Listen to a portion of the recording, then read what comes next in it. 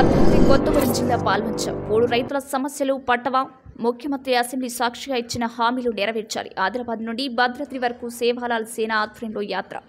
పోడు రైతులను కలిసిన సేవాలాల్ సేన తెలంగాణ రాష్ట్ర ముఖ్యమంత్రి కల్వకుంట్ల చంద్రశేఖరరావు ఎనిమిది సంవత్సరాల క్రితం అసెంబ్లీ సాక్షిగా పోడు సాగుదారులకు పట్టాలిస్తానని హామీని నెరవేర్చాలని డిమాండ్ చేస్తూ సేవాలాల్ సేన ఆధ్వర్యంలో ఈరోజు భద్రాద్రి కొత్తగూడెం జిల్లా పాల్వంచ అంబేద్కర్ సెంటర్లో నిరసన కార్యక్రమం చేపట్టారు.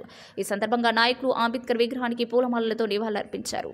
సేవాదల్ సేన రాష్ట్ర అధ్యక్షులు అంకోతు రాంబాబు మాట్లాడుతూ పోడు సమస్యలు తీర్చి పట్టాలివ్వాలని అవసరమైతే కుర్చీ వేసుకుని కూర్చుంటానన్న ముఖ్యమంత్రి హామీ ఇచ్చి ఎనిమిది సంవత్సరాలు కావస్తున్న కుర్చీ ఖాళీగాని నెత్తిన పెట్టుకుని తిరుగుతున్నారని ఎద్దేవా చేశారు. ఆదిలాబాద్ నుండి భద్రాద్రి కొత్తగూడెం జిల్లా వరకు ఉన్న ప్రతి మండలాన్ని ప్రతి గ్రామాన్ని కలియ తిరిగి పోడు రైతులను కలుస్తున్నామని తెలిపారు. అరచేతిలో వైకుంఠం చూపించిన ముఖ్యమంత్రి తక్షణమే పోడు భూములకు పట్టాలివ్వాలని డిమాండ్ చేశారు. ఈ కార్యక్రమంలో ధర్మసూద్ హరినాయక్ హుస్సేన్ నాయక్ చంద్రనాయక్ ధర్మవత్ హరినాయక్ భగవత్ రీను గుగుల్ బద్రి నాయక్ తదితరులు పాల్గొన్నారు. ముందుగా భద్రాద్రి కొత్తగూడెం జిల్లా పాల్వంచ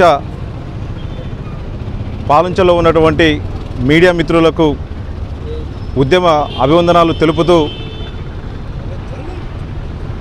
ఈ తెలంగాణ రాష్ట్రం తెలంగాణ ప్రభుత్వం చిత్తశుద్ధి లేకుండా ఎప్పుడైతే తెలంగాణ కొట్లాడి తెచ్చుకున్నటువంటి తెలంగాణ ఉందో ఈ తెలంగాణను ఎన్నో ప్రాణత్యాగాలు చేసి ప్రాణ త్యాగం చేసి మా పరిస్థితి ఉందో దానికంటే ఎక్కువగా ప్రాణ త్యాగాలు చేసుకొని కొట్లాడి తెచ్చుకున్నటువంటి తెలంగాణ. మరి ఈ తెలంగాణలో ఏం జరుగుతుంది?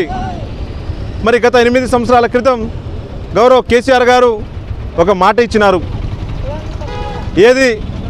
పోడు భూమి సమస్యలు ఎక్కడ ఉంటే అక్కడ నేను వచ్చి కుర్చీలు వేసుకొని మీ సమస్య పరిష్కారం చేస్తా అని చెప్పి చెప్పినటువంటి మన ముఖ్యమంత్రి మరి ఆయనకు ఆయన కోసం కుర్చీలు మాత్రం ఇట్లనే ఉన్నాయి ఎనిమిది సంవత్సరాల నుంచి.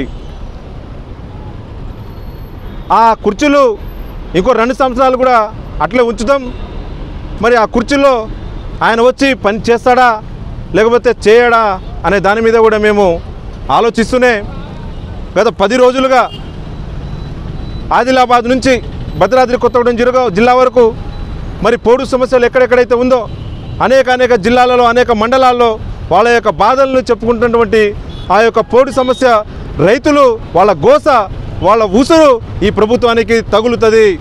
తప్పకుండా తగులుతుందని చెప్పేసి చెప్పుకుంటూనే మరి ఎనిమిది సంవత్సరాల క్రితమే మన నిండు శా- శాసనసభ సాక్షిగా ప్రమాణం చేసి నేను పోడు పోడు భూముల్ని ఆ పట్టాలు ఇస్తా అని చెప్పి చెప్తున్నటువంటి మరి ఆ కేసీఆర్ గారు మరి ఎక్కడున్నారా? లేకపోతే గిరిజన యొక్క గిరిజనుల యొక్క గోస మీకు పట్టదా? లేకపోతే గిరిజనుల యొక్క ఆదివాసుల యొక్క వాళ్ళని బాగు చేయాలనే ఆలోచన మీకు ఉందా లేదా? మరి ఓట్ల కోసమే వీళ్ళని వా- ఆలోచించు వాడుకుంటారా? లేకపోతే వీళ్ళని బాగు చేసే బాధ్యత మీ ప్రభుత్వానికి లేదా?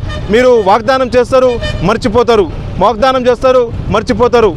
అంటే అదేమన్నా మీరు అది నోరా లేకపోతే తాటి మట్ట అని చెప్పేసి కూడా మాకు అనుమానం వస్తూ ఉంది. ప్రభుత్వానికి మేము ఒకటే హెచ్చరిస్తూ ఉన్నాం. రేపు తొమ్మిదో తారీఖు ఎనిమిదో నెల ఆగస్టు ఆదివాసీ ప్రపంచ ఆదివాసీ గిరిజన దినోత్సవం నాడు మేమే ప్రగతి భవన్కి వస్తూ ఉన్నాం. ఏదైతే మాకు ఇచ్చినటువంటి హామీ ఉందో ఆ హామీని మీరు నెరవేర్చకపోతే తొమ్మిదో తారీఖు మేమే మీ దగ్గరికి వస్తాం. మీరు మా దగ్గర రాకుండా రావడం కాదు. మేమే మీ దగ్గరికి వచ్చి మాకు మా